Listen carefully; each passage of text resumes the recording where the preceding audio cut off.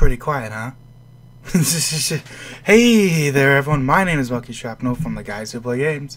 Back with some, well, back with some more. I'm so used to saying that. and we are here playing a certain game called Super Mario Brothers 3. Oh, you have to press. This is one of those weird games where you still have to press select to go up and down. I guess it makes sense. It is the select button. But I digress. Um. So, uh, I haven't actually. I don't think I've ever actually played the. I play. Okay, let's. So I played Super Mario Bros. 3 on Super Mario All Stars on the Super Nintendo a crap ton. Like, it's probably one of my most played Mario games, to be honest. Other than maybe like Super Mario World, maybe. Uh, but I've never actually played the original Super Mario Bros. 3. But I have seen people play, and I think I actually like this uh, better than the All Stars version. I, I played a little bit of this. Like I went over, I played it at like a friend's house sometimes.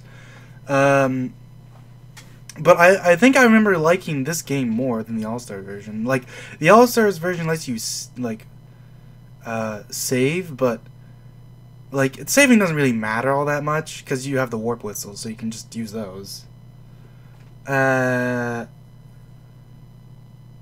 yeah, what was I? I had like a whole thing I was gonna say, but um, I'm actually I, what inspired me to do this actually was Cubic Tom's playthrough of the All Stars version, and after he played through, it, I was like, you know, what? I feel like playing the original. Uh, I will actually link his playthrough in this uh, description. I mean, to be honest, I don't think I need to link it because let, us be real, he has a lot more people watching his videos than Marion, But um, hey, you know, what's uh, what's a little self-depreciating humor without pressing the start button? So let's uh, go. So right off the bat, we're in World 1, we start off with 4 lives. I think we have 5 lives because in this game 0 is a life. So those are extra lives, as it were. We can move around, you can see our HUD down at the bottom. We got the money symbol, we got time, points, lives, what world we're in, and our good old P meter that's in this game only. So, this game, I don't, I don't know how like, this definitely doesn't control the same as Super Mario World, but I think I actually like the way this game controls better than Super Mario World. Like, it feels less slippery. Like, you have, like, it's a bit more like a mix between Super Mario World and Super Mario Bros. 1, but uh, in a good way, I think. I think it's a good mix. Ah, and then I immediately hit by a Goomba, but that's because I'm not used to it yet. I haven't played in a while, so that's totally my fault. Whee! Not going in that pit, listen. I know certain people have fallen in that pit before, but it's not me. Alright, I ain't that dummy who's gonna fall into a, a, a pummy. Yeah, that's what happens when you try to rhyme and you don't have anything to rhyme with, it just sounds dumb.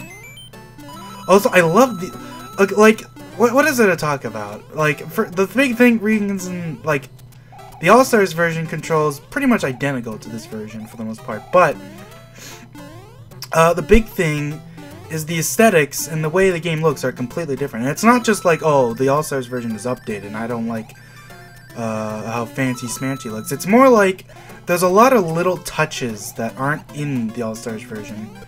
The big thing is like, for example, look at these things. Like, look how like they're bolted on. There's dramatic shadows onto the background because and this is kind of a thing that people didn't actually a lot of people didn't realize for a long time is that this game has a an aesthetic of like a play. Like uh, everything is supposed to look like just like props, like things are like bolted on the background. Like if you see question mark blocks, they're the same thing. Oh wow, what a waste. But like yeah, like uh okay, so Damn it, you jerk! Get out of here, I'm gonna carry you so you don't do that. So let's get up here. There's a secret up here. Like, uh, like these little star, like the mushroom flower star graphics, they're not in the All-Stars version. It's just a, a cloudy sky. And it's the little things, you know, like the black pipes here that, that are really cool. You can kind of see a glitchy side, but that's because I'm the the screen is wider than it's supposed to be. On the uh, like a normal TV, you wouldn't actually see that. So that's the reason for that. But yeah, like look how like and then like you know, exit stage, right? Like, it's all black. That's the, like the curtain. and you exit stage right. And it's all black and stuff, and it looks real cool. Uh, but there's actually not too many differences early on, but we'll, we'll see some uh, some very big ones later in the game. Uh, but for now, I guess I'll just play through.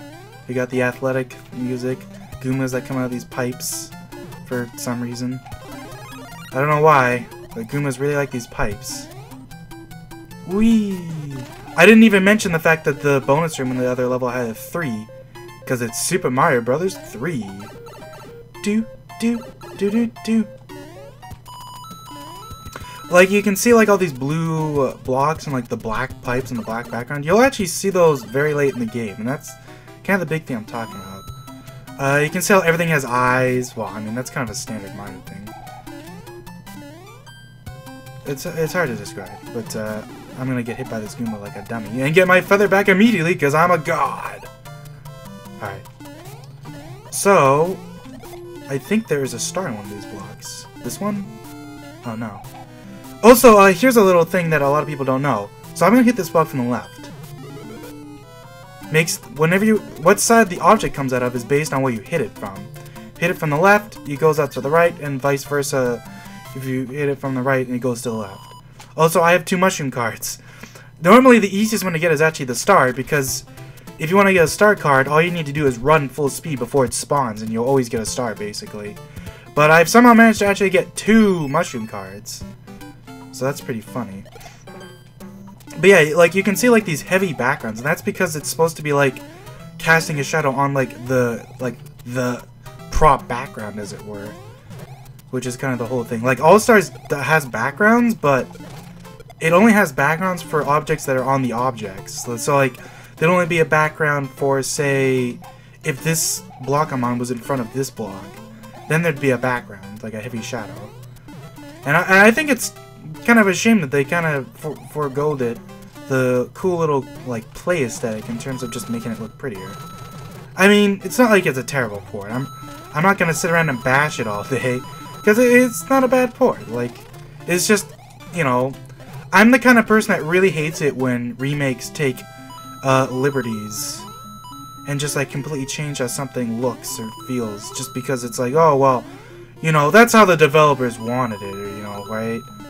And I'm just like, well, come on, can't you do the original? Also, speaking of which, I should see if I can get a fly going. Because I... Ah, oh, shit. I believe in most of these stages, there is like a one-up mushroom you fly up to the top. But that's kind of hard to get. So instead, I'll just get the mushroom. Damn it! I got the start. If you get three of the same card, you actually get a big one-up bonus. Like, mushrooms are two, Fire flowers are three, and then a star is five. But if you just get three cards and they don't mix, and they're just mixed and matched, then, you know, it just gives you a normal thing. Oh, so look at this guy. Even though Toad is very much on the right side of the screen, for some reason, if you walk to the right of him, he does actually turn around to look at you, which is totally unnecessary. Makes you wonder why they just put him on the very right wall and just make it not count. But, hey, they bothered to program that in, so I just wanted to show that. Because that's always fun. And now we got our standard uh, aesthetic, athletic jumper lumper stage where got to do a whole bunch of jumping. So, give me that. Yummy. Uh, I think one of these is a one-up block. I forget, but I think this might be a one-up stage, or like a, a coin stage, so uh, so I think if you get a certain amount of coins, you actually get a bonus, but that might not be this level. I don't know. They're, they're pretty hard to get usually. You usually need to get you usually need to get pretty much every coin, which I'm not doing the best job of, as you can plainly see. oh God, yeah. On the bright side, this is the first game where if you hold the jump button, you always bounce off enemies, so you don't need to like time your button presses in this game, which is nice. Oh crap, it's that dude. You know what? Fuck you! Oh. You know, it's worth it because I'm gonna get the uh, star.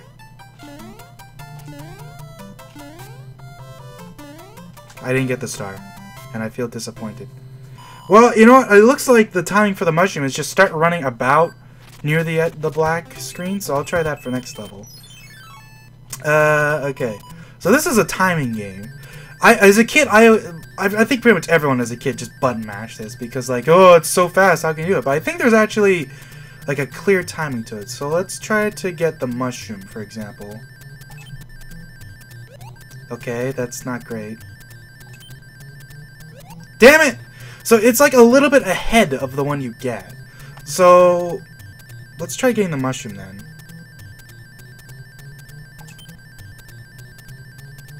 See, it worked that time. So I, I kind of get the timing. It's still pretty hard, but it's not impossible.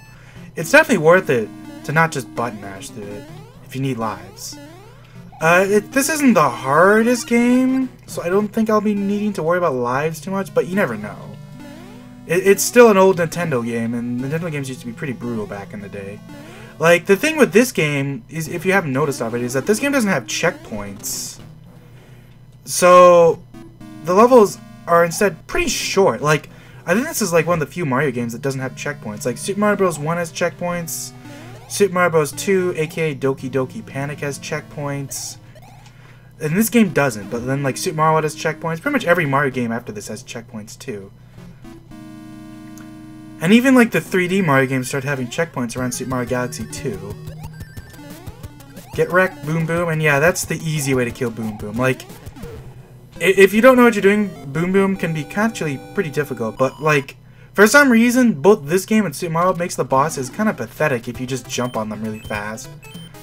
Oh, so as you notice, when we destroy the castle, a way opens up. So, uh, this game doesn't save, but uh, if you get a game over, you don't restart the entire game, you just restart the entire world.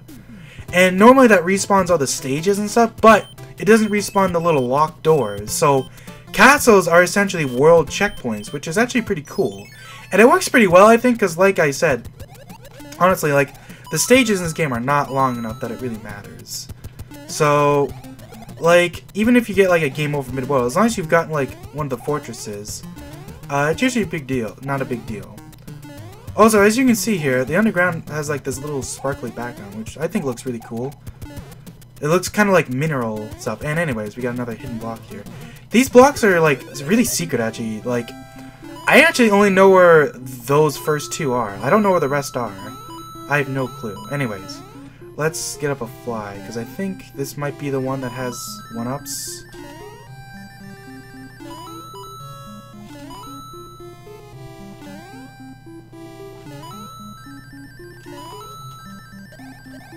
Ah, that was close. There was stuff up there. Dang it. Dang, dude. Alright, whatever.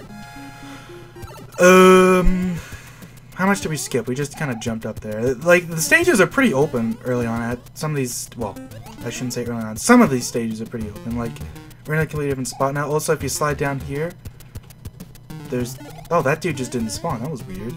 I always remember that if you slide down there, that piranha plant just pops up. But maybe that's all-stars only. Who knows? So theoretically, if I just run at this, I should get a mush. Dang it! You know, I'm not doing the best job, but uh, I don't think it matters. I mean, I haven't died really anything. Also, ooh, card. So these, this is like a little thing. I don't know what triggers this. Uh, you'd have to look that up. But basically, it's just a match them. Just flip two cards. If they match, you get a bonus based on what they are. So, for example, this obviously gives you a 1-up. Uh, mushroom gives you a mushroom in your item box. And here's a little fun fact. Every single layout has this be a mushroom. This is a fire flower, and this is a star. So, by default, you always know where at least three of these cards will if they pop up. On the other hand, I don't know where this one is, so I'll just go here. Dang it! That sucks. Oh well. And speaking of which, they go into this inventory, which is a little thing you get where you can basically use, uh, I think you have like four, like, rows of items you can use, and basically, you can just use them if you like die or something, and it's pretty nice touch, actually. It, it, it's, it's a good way to, like, Super Mario doesn't have anything like that, but Obviously, in that game, you can just replay stages. This game doesn't let you replay stages. So that's basically your little gimme. Woo! So that yeah, that's basically a little gimme. So like you get a little freebie, as it were, if you die sometimes. Also, um, in case you didn't know, that was a note block, and while you can indeed uh, Like, you can bounce off enemies just by holding the button, but in the case of note blocks, you have to actually time it, which is kind of annoying. Also, uh, like I mentioned before, these, you can see like little bolts in them, so they're like bolted onto the background. Also, these platforms that are floating here are actually hung up by ropes, which is pretty cool touch, actually, I think. Although, it, it's kind of weird because this block is just kind of floating, but I don't know, maybe you can argue that it's just on the background too. And that because that item is, that like platform is so big, that it has to be hung up by the ropes. But yeah, and then you have these line platforms, they look pretty cool, I think. Anyways, yeah, I got a mushroom, of course. I have gotten the mushrooms and stars every time. I, I keep getting two mushrooms and a star. Although that time the star was in the middle, so I don't know. Anyways, we got a Hammer Brother here. So these Hammer Brothers that move around the map, they move around whenever you, I think, die, beat a level, or just, like, leave. No, you don't, they don't... Well, you'll see later on what I mean. So you can fight this guy, it's just a single Hammer Brother, and just dies. And I don't know what dictates what stage you fight them on. I don't think it's per Hammer Brother. I think it's uh, based on what level tile they're on. So based on where they move around, I think the stage is different, but I could be wrong about that. I would think that's the case though, because I think this game works on like a tile by tile thing. So like each tile has its own stage basically dedicated to it. Anyways, let's uh, pick a box. Its contents will help you on your way. And you get a fire flower. I think early on you just get like mushrooms, flowers, and leaves. But later on I think you can get like uh, some special suits, which we'll see later on. Also, that guy's a dog. Ain't he cute? Oh, it's... Wait, let's try doing a Toad voice. Oh, it's terrible! The king has been transformed! Please! Find the magic wand so we can change it back! That was a terrible Toad voice, and it hurts my voice and it hurts your ears. But who cares? Now we're gonna jump on this airship, and hey! We're an airship! We're on an airship, and it's in the big blue sky. Uh, I think in All-Stars, this got changed to, like, being a, like, stormy background. And that's one of the few changes I think actually would look better here. I, I think it'd be better if it was a stormy background, because it's... But, like, this still works, I think. Like, like it's kind of cool, like, the background actually scrolls here. Although, obviously, it does that. Ooh! In the new game, too. Also, uh, interesting thing is like all these weird like little background things. I think the the airship levels are pretty well des like designed. Like they look. I mean, they don't really look like anything that would exist in the real world, but they still look pretty cool. Also, uh, look at that cannon. Like it's uh, clear. Instead of making like a uh, colorful, they just make it transparent, which is interesting. Anyways, we got uh, Larry here. Larry who is the final Koopaling of Super Mario World, is the very first guy you fight here, which is pretty interesting. Wee, and we get the magic wand for killing him. Ain't it fun? Doop! And then we get this sweet song.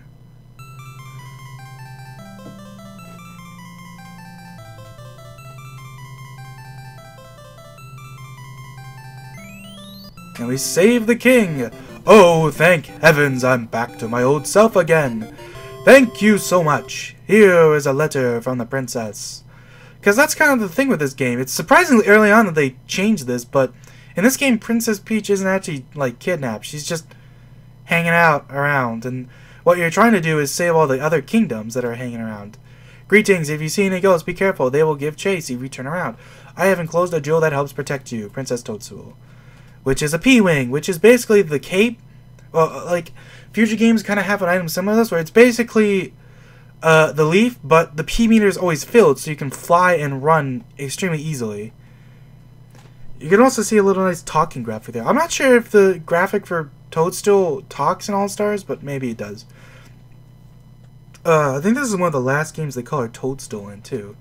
Around the time of uh, uh, Super Mario 64 is when they stopped calling her that. Anyways, uh, that is enough for this part. Uh, we will continue onward with this world. The desert world. This is where the whole stupid stereotype for future games where it's always like grasslands and a desert and then water world and then all that jazz comes from. But this game is the first one to do that in, so obviously it's stupid to get mad at this. Anyways, uh, that's enough of that. I will see you guys later. Uh, Monkey Shop is out. Peace.